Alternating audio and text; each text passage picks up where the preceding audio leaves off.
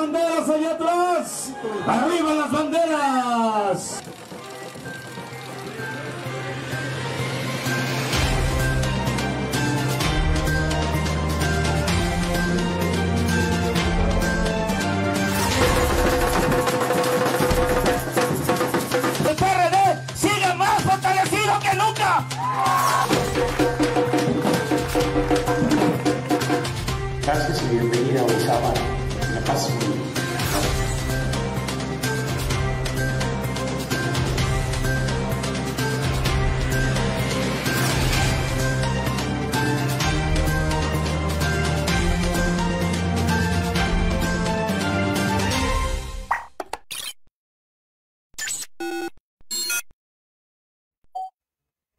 Bienvenidos. A través de noticiero paréntesis.tv tendrá la oportunidad de ir conociendo las propuestas y los candidatos a puestos de elección popular de cara al 6 de junio de este 2021, en que podremos elegir a diputados federales, locales y presidentes municipales. Para el caso de la zona de las altas montañas, traemos para ustedes a la mayor parte de los que han aceptado la invitación. Por eso es que pedimos que por favor te presentes y sepan quién está hoy aquí con nosotros y qué pretende ser. Por Muy favor. bien, antes que nada, muchas gracias por la invitación.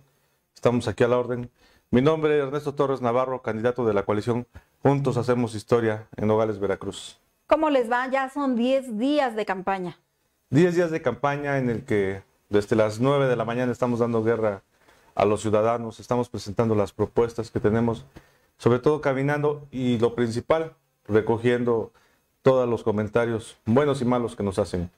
Hay muchas peticiones, muchas inquietudes y pues estamos recibiendo bien todas y cada una de ellas. Bueno, y son mejor para ustedes ir tomando el pulso aquellos comentarios no tan favorables, los van tomando en cuenta o en, en base a qué ustedes van midiendo el acercamiento con la población y recogiendo pues esas inquietudes, ¿no? Claro, hay muchas inquietudes y sobre todo cuando tocamos la puerta y nos dan la posibilidad de platicar con las personas, nos van explicando qué es lo que requieren, qué es lo que necesitan, pero sobre todo los puntos en donde también se ha fallado. Yo vengo de ser secretario de la administración actual, renuncié en octubre eh, para hacer unos temas pendientes como abogado y ya ahorita en la candidatura y en plena campaña por el Partido Verde, Morena, PT. Bueno, ya nos acostumbramos como ciudadanos, ya no digamos o hablemos de la mezcla de colores porque es bien rara, pero hablemos de la mezcla de las oportunidades, hablemos de la mezcla de las propuestas, que al final de cuentas las conjuntan y las tiene que presentar un solo candidato. Ya se superó esa etapa por parte de la población, ya entendió qué es lo que están buscando y quieren ser. Ya, sobre todo ahorita que estamos platicando con la población, están asimilando la coalición, no es algo fácil. El partido Morena tiene un voto importante en el municipio de Nogales. El Verde, que estaba gobernando, sigue gobernando, eh, también tiene parte importante ahí, pues obviamente es gobierno. Y el PT, que también andan ahí haciendo el mejor esfuerzo. Estamos saliendo, estamos platicando a toda la población. De los partidos políticos estamos unidos de los partidos políticos estamos jalando juntos, pero sobre todo, ¿cómo le vamos a enseñar o a demostrar a la población que queremos hacer un trabajo por el municipio si fuéramos caminando cada quien por su lado? La verdad que a mí me da mucho gusto que la compañera de la sindicatura Silvia y su suplente Rosa estamos trabajando bien de la mano y sobre todo las regidurías con las que cuenta el partido Morena en sus planillas y también el PT que nos hacemos acompañar, de verdad que hemos hecho un buen grupo y sobre todo hemos estado trabajando de la mano y te lo vuelvo a repetir, jalando mucho. Precisamente no es eslogan, son unas palabras ahí que tenemos que con Ernesto Torres sí jalo, porque pues necesitamos eso, necesitamos jalar, primero como partidos políticos y dos, a la población, que jalemos todos juntos. En Nogales tenemos un reto muy, muy importante y es continuar con el trabajo que se viene haciendo, pero sobre todo entrarle a donde falta en Nogales. Considerando que un gobierno municipal es lo más cercano que tenemos, independientemente de que vayamos o no a votar por un diputado local y un diputado federal, el ayuntamiento o el alcalde es bien importante, es el más cercano a la población. ¿Qué haces con tu pasado inmediato en la función pública para que ahora, para bien o para mal, la población lo entienda. Tú ya eres parte del gobierno, ¿por qué quieres seguir siendo? Mira, hay experiencia en mí. Cuando me preguntan, oye, ¿por qué vamos a votar por ti? Tengo experiencia, tengo la capacidad, pero sobre todo tengo las ganas y un equipo de trabajo que son las planillas, que es la síndica, que me acompañan a caminar, que solicitamos el voto, pero demostramos por qué queremos estar ahí. Queremos un Nogales diferente al que vemos hoy. Tenemos que construir las bases para que Nogales pueda seguir creciendo y pues estamos echándole muchas ganas. O sea, todavía no se ha podido tener las bases de un municipio tan extenso del que pues tenemos que hablar cuáles son las principales necesidades. ¿Cuántas administraciones han podido ustedes ver? Vienes de una misma. Claro, como secretario de ayuntamiento me permitió conocer algunas áreas del ayuntamiento, pero sobre todo conocer todo el municipio, estar en contacto con las personas. Sabemos algunas necesidades, pero ya palpando, platicando, teniendo ese contacto que nos permite la campaña, vamos descubriendo más temas, pero sobre todo más soluciones. ¿Cuáles son los problemas que tú eh, ves así como que urgentes, necesarios atender? Sí, hay un tema primordial ahorita que es el agua potable. Eh, si bien el reclamo es que no llega con toda la presión a los domicilios de Nogales. Pues es que hasta una laguna tienen, ¿cómo es que no hay agua? El problema que tenemos en Nogales es el sistema de bombeo y eso hemos tratado de explicar. En Nogales la mayoría de la población recibe agua del Rincón de las Doncellas, que es así como la segunda sección de Nogales. En el Rincón de las Doncellas está abajo y va subiendo el nivel.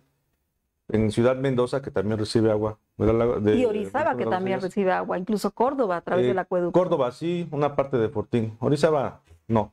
Pero sí recibe Nogales, Mendoza, otra vez Nogales y Río Blanco.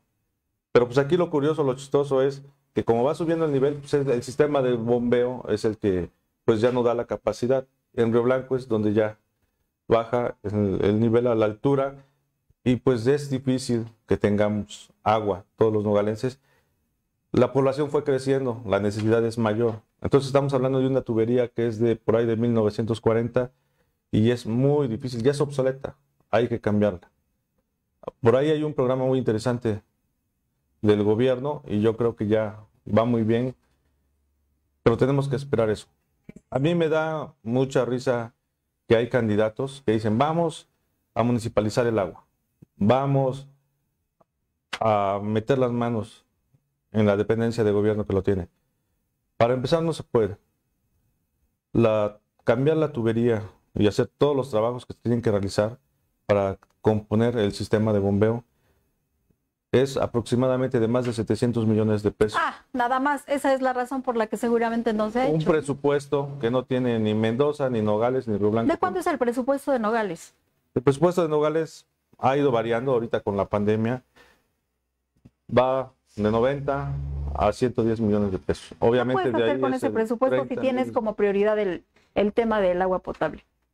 Hay que hacer la gestión. Hay que hacer las gestiones con gobierno estatal, con gobierno federal pero pues sí, no venir y engañar a las personas, no venir y engañar al electorado, de que por tratar de ganar el voto, decir mentiras. Yo soy una persona que no está acostumbrado a engañar a la gente ni a vender espejitos. O sea, no nos puedes prometer que vas a solucionar el problema del agua en una administración municipal en caso de que seas el próximo alcalde. Vas a iniciarlo. Ya está iniciado un proyecto que es muy importante, que por los temas aquí electorales no podemos establecer todos los mecanismos, pero sí es muy importante empezar a leer, ver las noticias y sobre todo saber que ese proyecto ya está aprobado. Es un proyecto muy importante en donde el gobierno está interviniendo directamente y sobre todo va a beneficiar a más de medio millón de personas.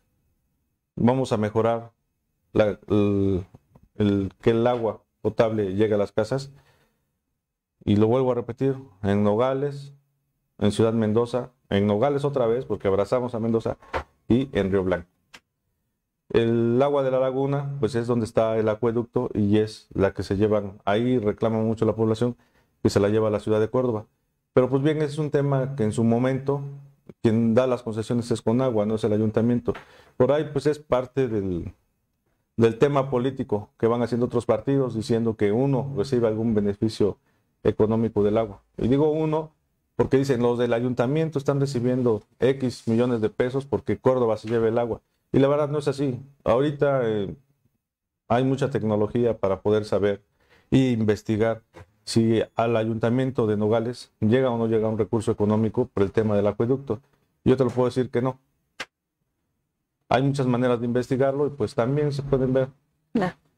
Hay mucha prioridad, mucha carencia. Si bien es cierto que la laguna de Nogales está muy bonita, arreglaron, eh, la laguna iluminada en diciembre cambia totalmente la laguna, es espectacular ver tantas luces en el agua. Vimos que llegó gente de Tabasco, de Chiapas, de Puebla, es un lugar turístico. Pero pues también tenemos ya que voltear alrededor. Las colonias de alrededor son también muy importantes. Es un detonante económico el centro de Nogales, con la laguna, con los portales, eh, todo lo que genera en ese entorno. Pero pues hace falta más inversión alrededor. Hay calles sin pavimentar, faltan servicios de alumbrado público, que es uno de los reclamos. Y es ahí donde estamos platicando con las personas para planear y estar trabajando en coordinación con ellos. ¿De qué vive la gente de Nogales? La gente de Nogales, en su mayoría, por lo regular vienen a trabajar a Orizaba, es lo que dicen. Tenemos que salir a trabajar a Orizaba y luego regresar a dormir a Nogales. Comercio informal también hay bastante. Hay pequeñas y medianas empresas en Nogales. Y pues cada quien trata de salir adelante a conforme puede. Es por eso que también necesitamos invertir y creer en las personas de Nogales, capacitar a nuestras mujeres para también darles algún apoyo, algún crédito. Muchas de las veces las personas dicen, sabes que quiero trabajar, quiero emprender, pero pues nos hace falta ese plus. Necesitamos que las mujeres se sientan respaldadas por el ayuntamiento. Y eso no se puede hacer de ocurrencias o como de alguna falsa ilusión o temporalmente. Tienes que hacer un correcto planteamiento. ¿Cuál sería uno de los proyectos que más apoyarías para las mujeres? Mira, en el tema, yo siempre he dicho, cada mujer es un tema diferente. En la casa, pues crecí con cinco mujeres. Y créeme, cada una piensa diferente, no hay una que piense igual. Eh, pues mis hermanas, eh, te lo puedo decir, cada uno trae su manera de pensar, su manera de ver la vida también y pues es difícil que se pongan de acuerdo. Por eso siempre he dicho, la mujer que esté dispuesta a emprender, que esté dispuesta a iniciar un negocio y arriesgarse también en el tiempo, en el esfuerzo y todo, pues que diga qué es lo que quiere hacer, pero sobre todo que el ayuntamiento esté dispuesto a pagar una capacitación, que no se aviente nada más así como va, que sabemos que lo pueden hacer. Necesitamos capacitarla y sobre todo apoyarla, aportar, dar un crédito. Oye, ¿cuántas mujeres hay en tu equipo de trabajo? ¿Y qué hacen? Híjole, en mi equipo de trabajo te puedo considerar que más de 20 mujeres tenemos. ¿Qué hacen? En el equipo de trabajo. Son de apoyo, son de ayuda, parte de la planilla también, que es muy importante. En la planilla está la síndica, su suplente, las candidatas a regidora, que son chicas muy valerosas también. Y eh, bueno, en todas las planillas igual, hay mujeres. Eh, Aquí un ejemplo está Malú, que está con nosotros, está acompañando. Casi, casi es la coordinadora de la campaña y está muy al pendiente de nosotros. Hay mucha confianza en la mujer. Te vas a dejar asesorar por ellas en todos los aspectos de la campaña. Y si llegas a la presidencia municipal, ¿es palabra para las mujeres? También, aquí, mira, he aprendido a valorar, a valorar a las mujeres. Te lo vuelvo a repetir. En el caso de mi mamá, mis hermanas, mi esposa, que también ahí, ella es la que manda en la casa realmente y que cuida a los pequeños, nos dejamos guiar. No, no estamos cerrados a decir, yo tengo la última palabra y aquí se hace lo que el hombre diga. No, de ninguna manera aquí estamos abiertos a todas las opiniones y sobre todo, no porque sea mujer, no porque sea hombre, vamos a hacer caso. Estamos al pendiente y abiertos a cualquier opinión. Para irnos, ¿quieres dirigir algún mensaje a los electores de Nogales? Muy bien, pues les quiero decir que conozcan a Ernesto Torres Navarro, el candidato de la coalición Juntos Hacemos Historia, que conozcan las propuestas, pero sobre todo que sigan abriendo las puertas de sus domicilios. Estamos con ustedes, no vamos a fallar, no venimos a mentir, venimos a trabajar. ¿En dónde pueden encontrar tus propuestas completas? Las propuestas ya están circulando, traemos los trípticos, los dípticos y sobre todo por ahí va a haber una manera de presentarlos más adelante. Eh, Yo nada más les pido que estén al pendientes en las redes sociales también, que ahí estamos al pendiente. Hay una casa de campaña a la que casi no vamos porque todo el día andamos del tingo al tango, como dicen. Claro, pues tienes que hacer campaña y ahora en la nueva realidad de manera distinta Así y es. muy responsable. Te agradezco que hayas acudido a esta invitación para la entrevista, que te conozcan, que conozcan tus propuestas y que luego tomen sus decisiones. Muchas gracias por el espacio y sobre todo a quienes nos están viendo. Saludos, saludos a la familia que seguramente también está ahí, al equipo de trabajo. Muchas gracias. Les debo mucho, han caminado conmigo 10 días. La verdad que no es tan fácil el estar sol, lluvia y todo, pero estamos caminando muy bien. La verdad estoy muy contento porque nos está yendo muy bien. Se ve la fortaleza que tenemos y sobre todo vamos a seguir caminando y fuertes cada día más. Sigue haciendo campaña y que te vaya muy bien, éxito. Nos vemos Gracias. en la próxima. Gracias. Y arriba esas banderas allá atrás. Arriba las banderas.